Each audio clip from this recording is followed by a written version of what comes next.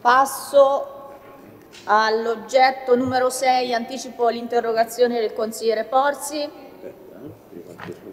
Sentenza del TAR Umbria a seguito di ricorso numero di registro generale 823 del 2023 proposto da Nippon Gasis Pharma SRL contro punto zero SCAR. Intendimenti della Giunta.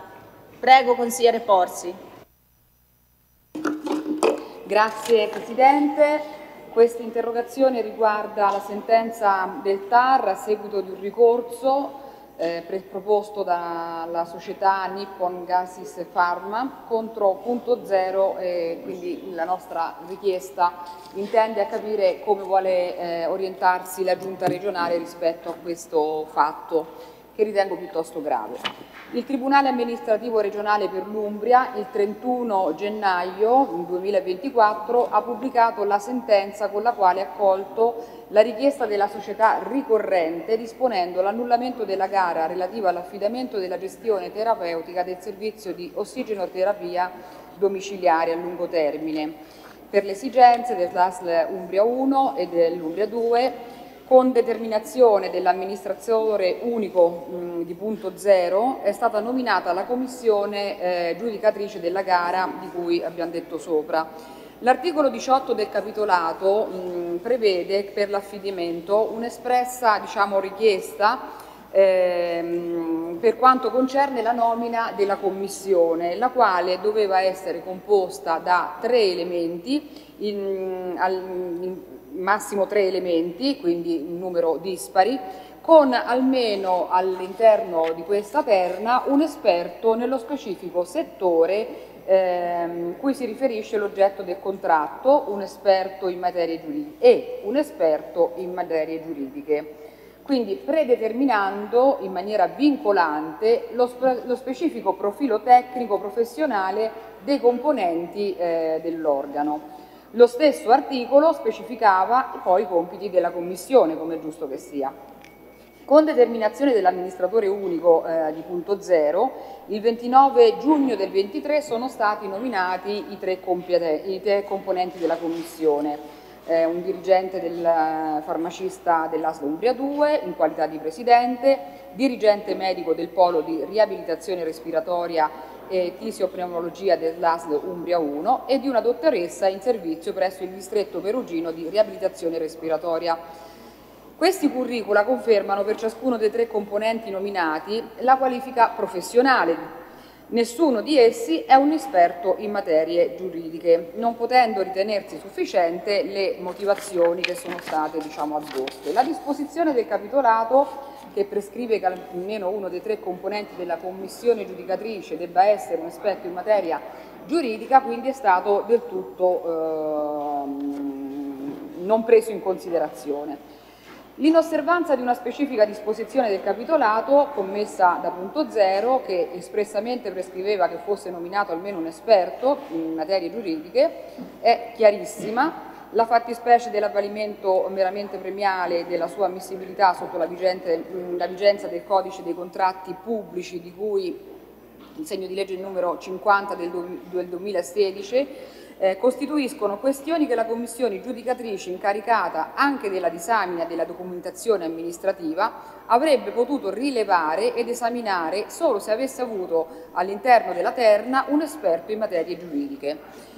Il Tribunale amministrativo regionale ha proceduto all'annullamento degli atti della procedura di affidamento proprio a partire dalla determinazione dell'amministratore unico, aspetto che denota diciamo, un, una grave mancanza di punto zero su cui la Giunta dovrebbe intervenire a tutela anche della trasparenza e dell'imparzialità della sua azione.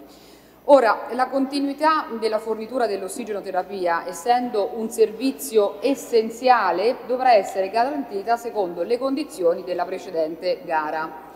Queste condizioni risultano indubbiamente più onerose di quelle che sono previste nella gara diciamo, che è stata annullata e questo potrebbe comportare una valutazione di un possibile danno erariale. La precedente gara, quindi avvenuta mh, tempo fa, adesso non ricordo la data, eh, della durata 4 più 1, quindi 5 anni totali, a causa di un errore di valutazione sui consumi, e credo anche di un errore sul numero dei pazienti assistiti, ha comportato che per la stazione appaltante ehm, ci sia stata la necessità di indire una nuova gara solo dopo 18 mesi. Anche questo potrebbe eh, rientrare nella fattispecie dan del danno erariale perché ci sono state delle valutazioni sbagliate, ma qui non siamo in un tribunale. Ecco, quello che ho descritto eh, è un fatto ormai sotto gli occhi di tutti e mh, la richiesta che facciamo è capire come mh, la giunta regionale intende operare rispetto all'azione di eh, punto zero. Grazie Assessore. Prego, Assessore Coletto. Grazie Presidente. La procedura di gara relativa alla gestione terapeutica del servizio di ossigenoterapia domiciliare a lungo termine per le esigenze delle aziende sanitarie della Regione Umbria è stata bandita a seguito di espressa richiesta delle aziende stesse territoriali manifestata nel corso del 2022, successivamente inserita in programmazione delle gare di punto zero per le annualità 23-24. In particolare, stante il significativo ed imprevisto aumento del numero di pazienti assistiti anche in relazione agli eventi pandemici, le aziende hanno riscontrato un incremento di quasi il doppio dei fabbisogni messi in gara e che, dato, e che di fatto ha esaurito la capienza della precedente procedura aggiudicata nel 2021. Tanto premesso in data 20 aprile 23.0 in qualità di soggetto aggregatore regionale ha provveduto ad indire la procedura di gara tramite l'appalto specifico per l'affidamento della gestione terapeutica del servizio di ossigenoterapia domiciliare a lungo termine per le aziende sanitarie della Regione dell'Umbria, con aggiudicazione secondo il criterio dell'offerta. Assessore, mi, Assessore, mi scusi, ma si sente pochissimo. Per favore, silenzio in aula. Avvicini un po' il microfono cortesemente. Ecco. Grazie. Grazie con l'aggiudicazione secondo il criterio dell'offerta economicamente più vantaggiosa. Tale procedura terminava in soli cinque mesi, in data 21 settembre 23, con l'adozione della relativa determina di aggiudicazione. Successivamente alla suddetta aggiudicazione veniva impugnata dall'operatore economico secondo in graduatoria, rilevando sia un vizio di forma nella composizione della commissione giudicatrice nonché di legittimo ricorso da parte dell'operatore economico aggiudicatario dell'istituto giuridico dell'avvalimento premiale.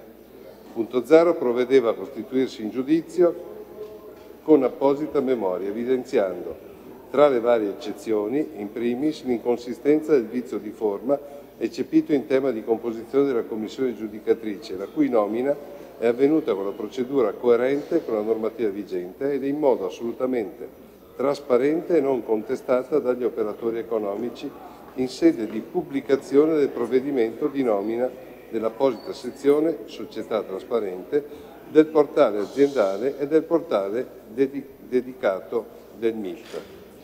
Rispetto al secondo motivo di ricorso si eccepisce che l'operatore economico giudicatario abbia ricorso all'istituto giuridico dell'avvalimento non in senso proprio ma meramente premiale in si precisa che su tale previsione il TAR non si è pronunciato.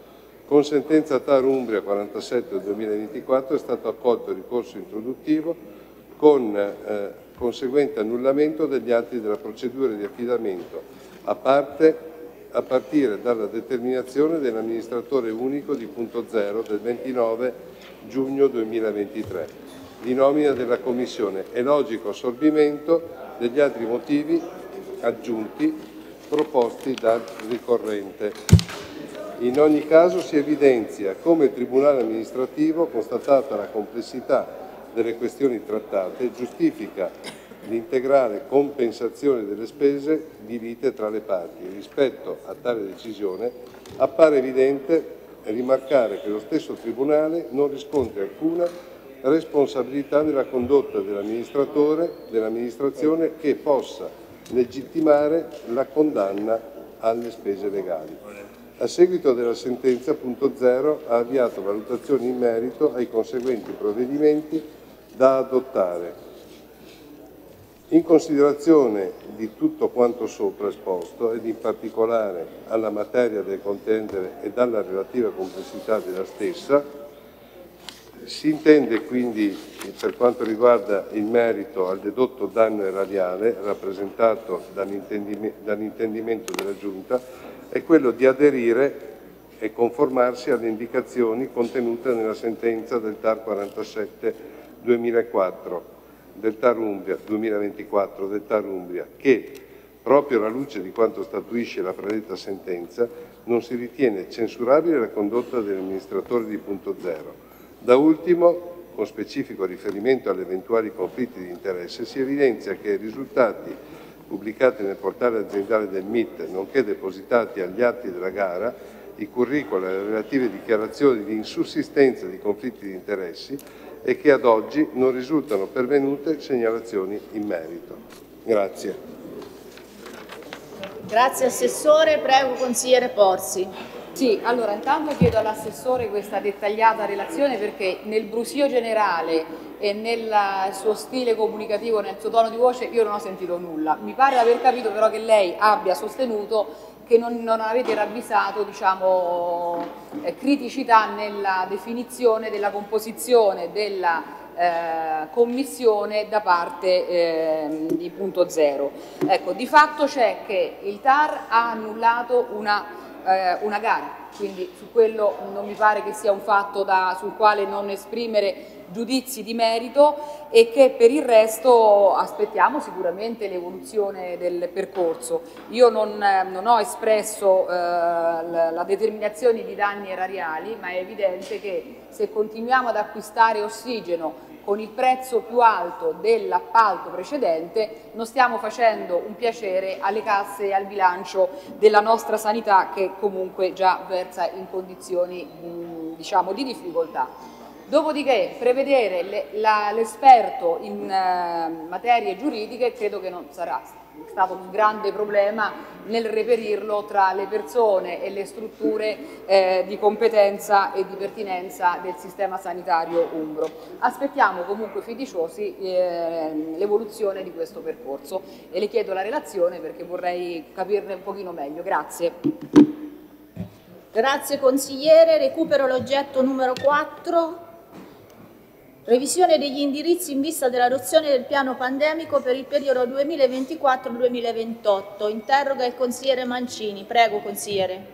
Assessore, per sgomberare ogni dubbio, questa interrogazione si ispira pienamente a quella fatta dal nostro collega di partito, onorevole Claudio Borghi, al Parlamento italiano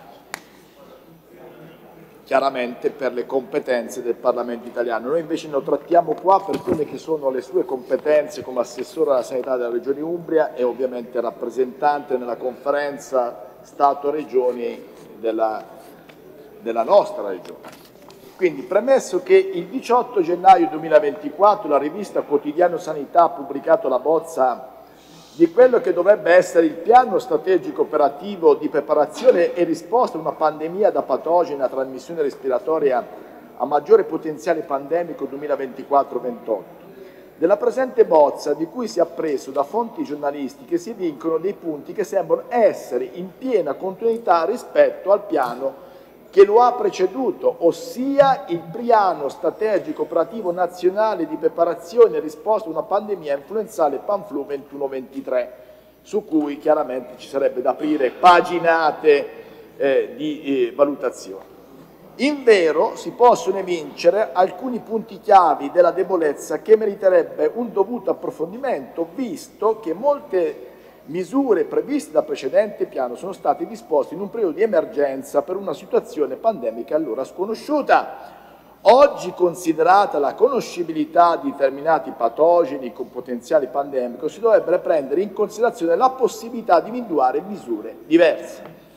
La bozza, tra le azioni di contrasto a una pandemia, indica i vaccini come le misure preventive più efficaci, fatto di fatto, di fatto smentito anche oggi contraddistinte da un rapporto rischio-beneficio significativamente favorevole senza tenere in considerazione che la validità di un vaccino deve essere analizzata caso per caso sulla base di ogni singola malattia e individuo e in base alle procedure di sviluppo dello specifico vaccino.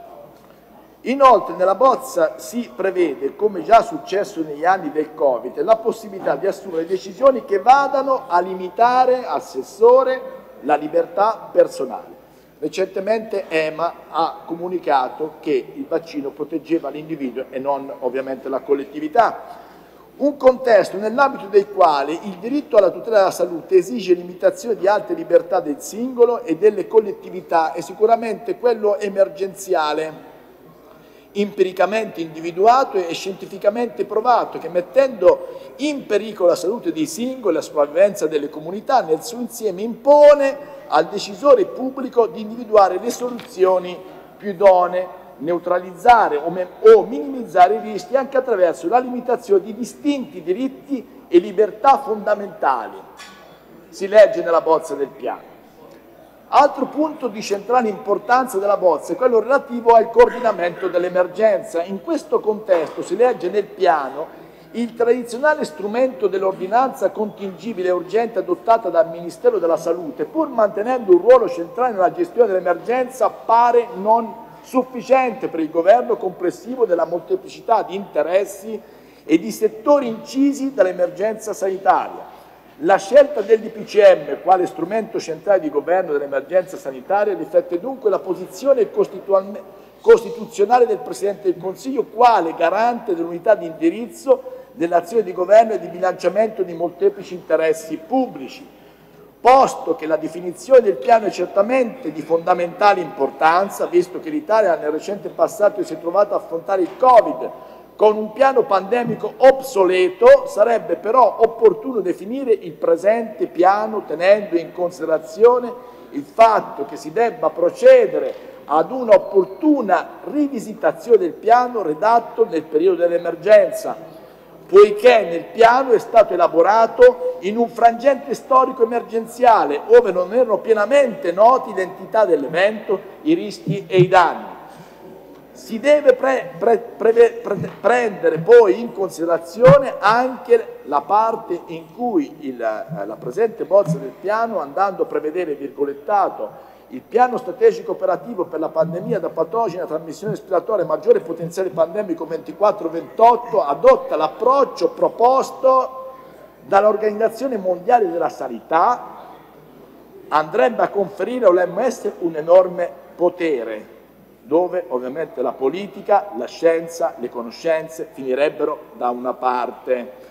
Considerato che attualmente l'attuale maggioranza di governo nazionale ha già avuto modo di esprimere durante il periodo di pandemia, giusto per evitare eh, incomprensioni politiche, assessore, le proprie critiche in ordine alla limitazione delle libertà personali dei cittadini, in particolare attraverso l'utilizzo dei decreti del Presidente del Consiglio dei Ministri, atto normativo che esautora completamente il Parlamento, andando dunque a evidenziare la lesione dei pilastri dell'assetto democratico. Carissimo Assessore, non a caso questo Governo ha voluto la commissione d'inchiesta sul Covid, quindi se ce l'hanno avuta vuol dire che quello che ho scritto, che ho detto in questi anni non era infondato.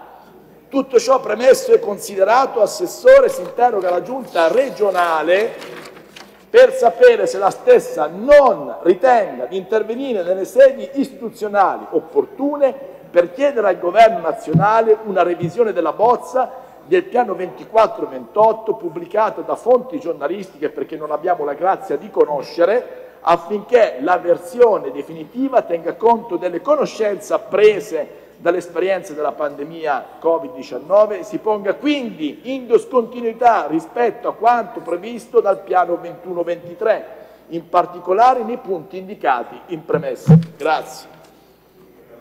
Assessore Coletto, prego. Grazie Presidente.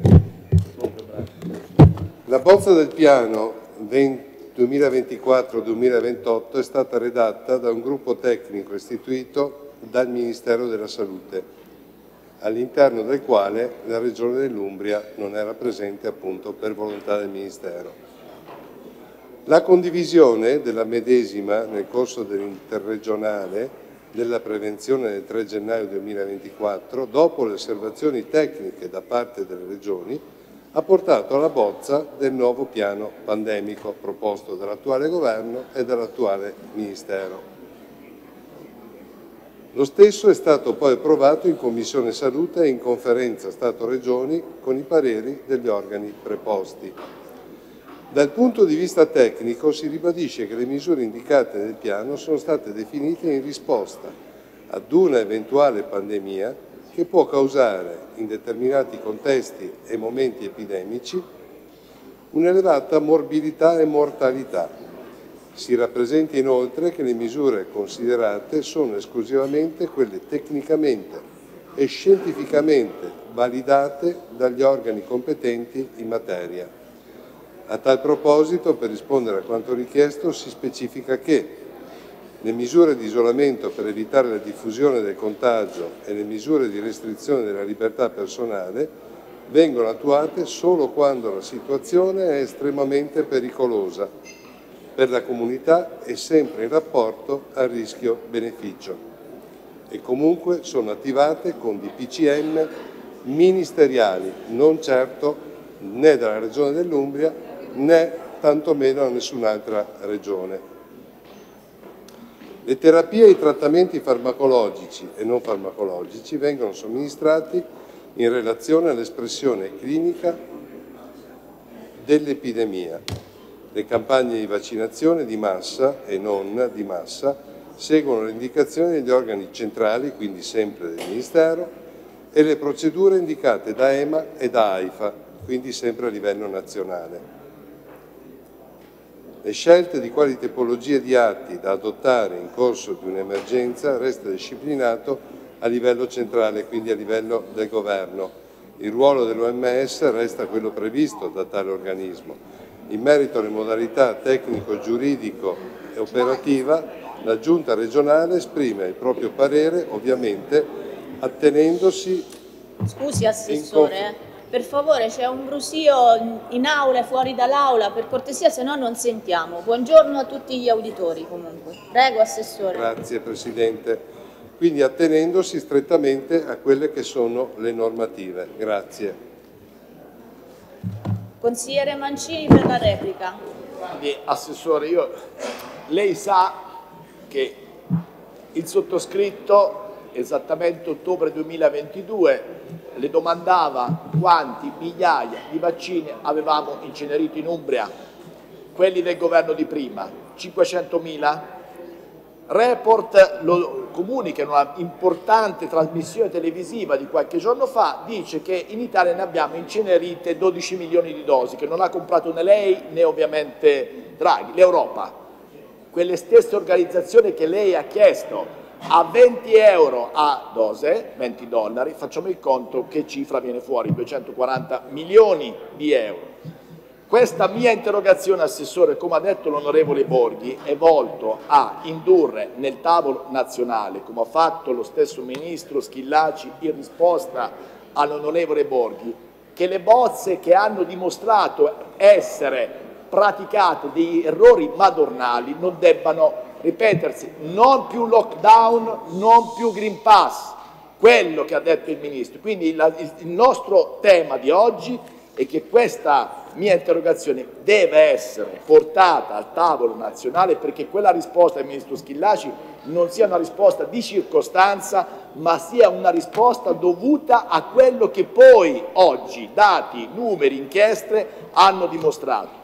Quindi spero che questo ulteriore eh, dibattito in aula le diano ovviamente gli strumenti per difendere la nostra libertà e soprattutto la salute davanti alla scienza, quella vera e non quella che è stata in qualche maniera osannata e sempre dimostrata in ogni trasmissione televisiva, facendo emergere che quelle verità, come lei ha detto anche un anno dopo, le cure domiciliari c'erano e avrebbero impedito il ricovero del 90% delle persone nel nostro nei nostri ospedali.